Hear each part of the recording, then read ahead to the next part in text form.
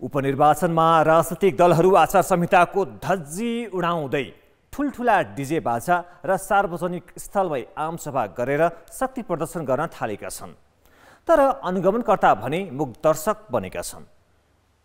निर्वाचन आयोगले लागू गरेको निर्वाचन आचार संहिता महोत्तरीमा प्रमुख दलले उल्लङ्घन गरिरहेका छन्।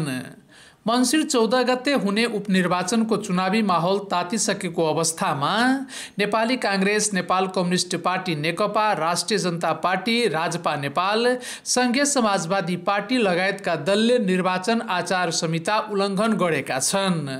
तर अनुगमन समितिले केही गर्न सकेको छैन। सरकारी गाडी प्रयोगको कुरो आइरहेको छ त्यो पनि हामी नियन्त्रणको लागि आचार संहिता अनुगमन समितिको बैठक बसेर नै त्यसलाई पनि निर्देशन दिएका छौँ र त्योभन्दा बढी अझ दुरुपयोग हो भने त्यसको अगाडिको स्टेप पनि हामी चाल्नेछौँ।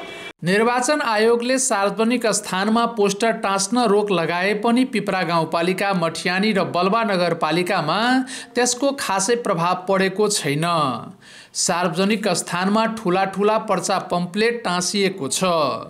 तामझामका साथ प्रचार प्रसारमा जुटेका राजनीतिक दलले पार्टी चिन्ह अङ्कित पर्चा पम्पलेट ब्यानर झन्डा र डिजे बाजाको समेत प्रयोग गरेको पाइएको छ। जहाँसम्म निर्वाचन आचार संहिता उल्लङ्घनको कुरा छ त्यसमा सबभन्दा पछाडि भनेको नेपाल कम्युनिस्ट पार्टी नै।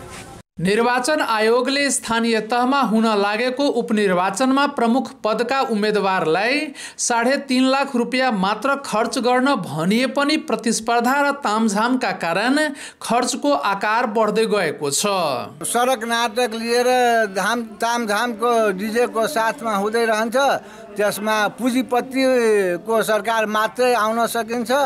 र बिना पुँजीपतिको स्वच्छ छविको मान्छे चाहिँ यो चुनावमा आउन सक्दैन। आचार संहिता विपरीत सरकारी गाडीको समेत प्रयोग गरिएको छ।